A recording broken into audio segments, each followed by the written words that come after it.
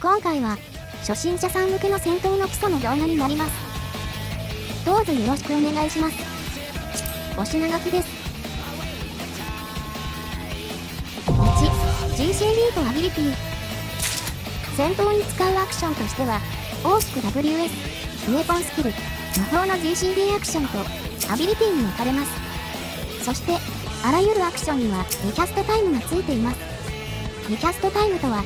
クションが再使用できるまでの時間です。GCD とはグローバルクールダウンの略で包括的クールダウン時間という意味を持ち簡単に言うと WS と魔法の種類をまたいで共有されるリキャストタイムのことです。ちょっと言葉だけでは難しいですね。動画で確認してみましょう。WS を使います。1つの WS を使用したら他のアクションの時計のようにリキャストタイムのカウントダウンが始まったものがありますね。このように WS と魔法のリキャストタイムが共有されていて1つの WS 魔法を実行すると他の WS 魔法にもリキャストが発生し使用が制限されるというものです。GCD が発生してる間は GCD のタイマーが回ってるとか言います。キャストタイムとリキャストタイムの補足です。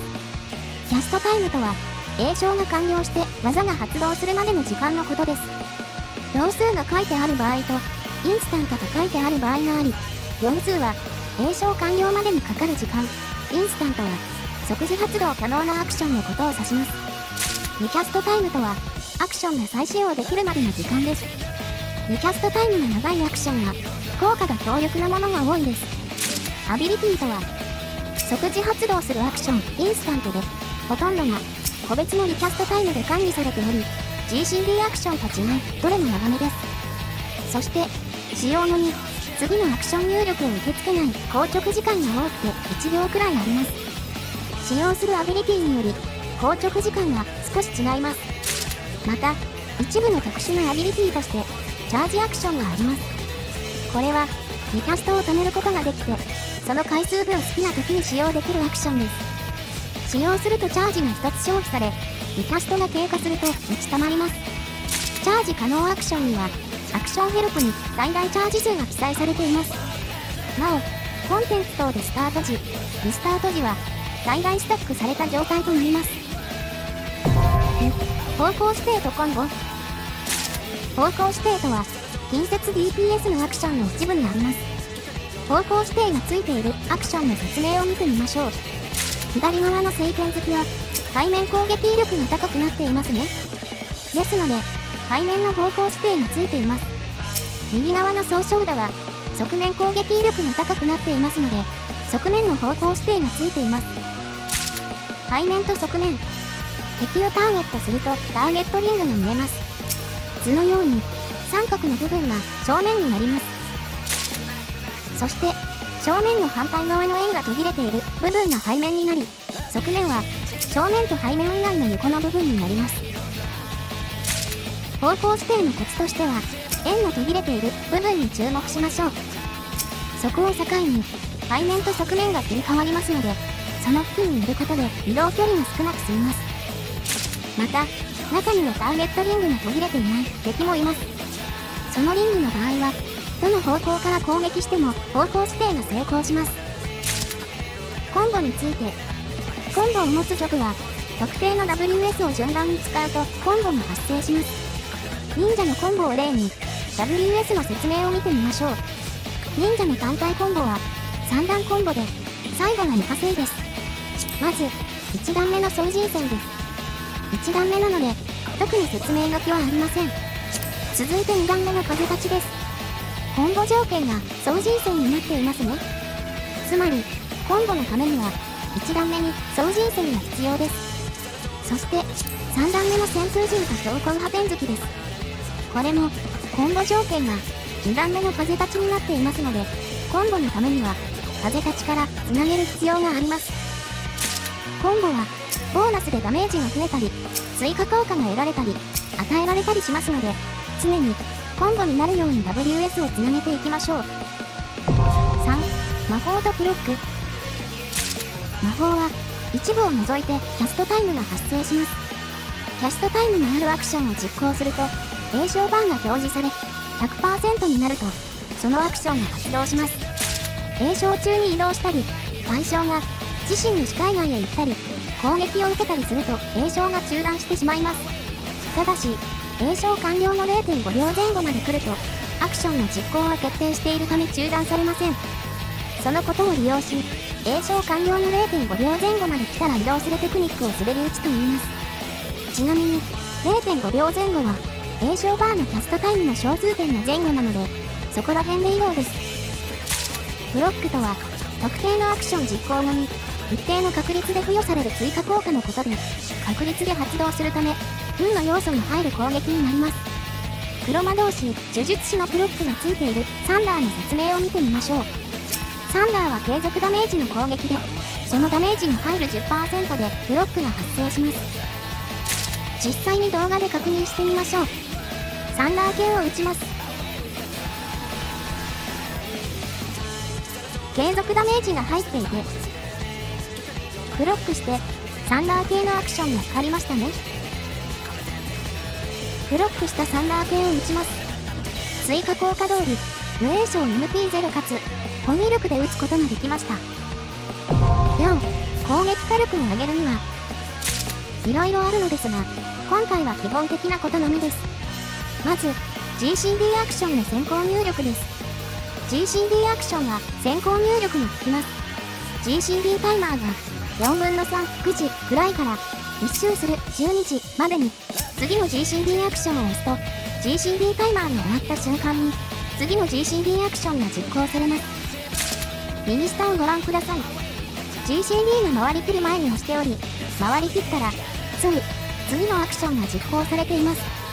これにより GCD アクションの隙間がなくなり火力が上がります。しかし、このように、タイミングよく押すという必要はなく、多くの人は GCD 後半に次のアクションを連打していたりします。マクロは先行入力が行えませんので注意が必要です。GCD 中にアビリティを挟む。基本的に、アビリティは GCD アクションの間に挟んで使うことが多いです。具体的に数をご覧ください。注意点として、アビリティの即時発動ですが、そのもの自体に多くて、1秒ほど硬直が発生します。そのため、GCD が2.5秒だとすると、挟めるアビリティは多くて2個だけとなります。そして、GCD が回復する直前に、その硬直がかぶってしまうと、せっかく先行入力をしていても硬直が発生し、最短で繋がらない状態になり火力低下してしまいます。アビリティにより硬直時間が違ったりしますが、挟めるアビリティの理想は1つ、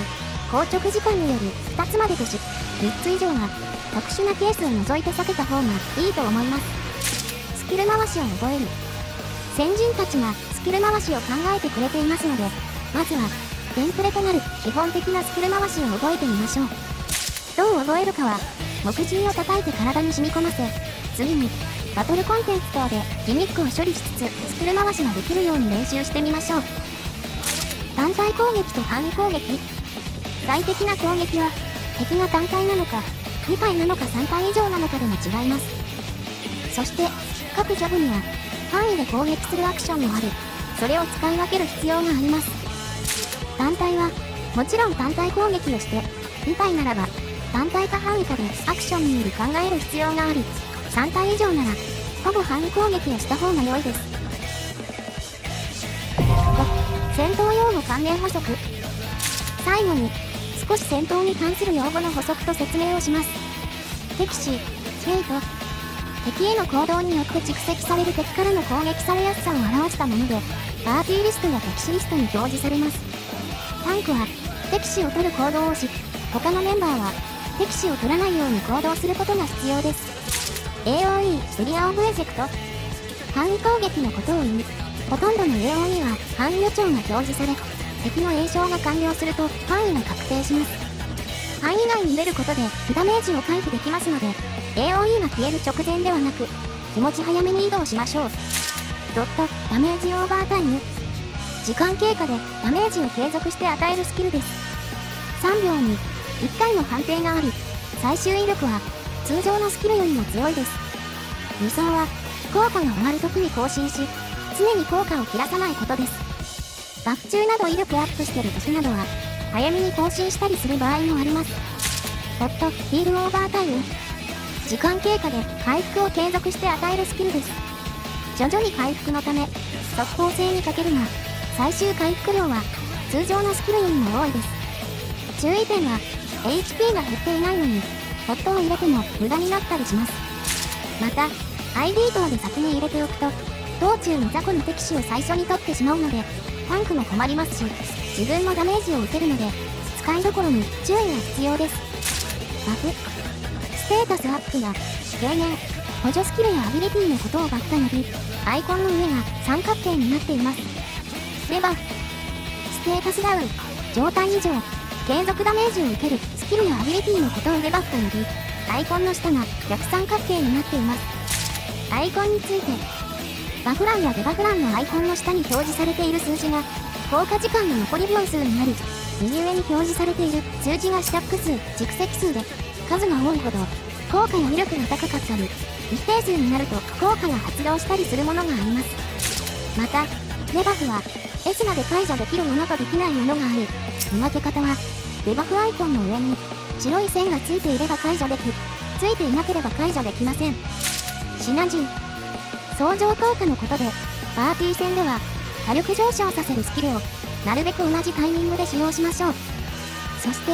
掛け合わせたタイミングで火力技を打つことをシナジーに合わせるなどと言います。また、そういったスキルを持つジャブをシナジージャブと言ったりします。抜け丸。ご視聴ありがとうございました。今後も魅力ながら初心者さんをサポートできる動画を作成していきますのでよろしくお願いいたします。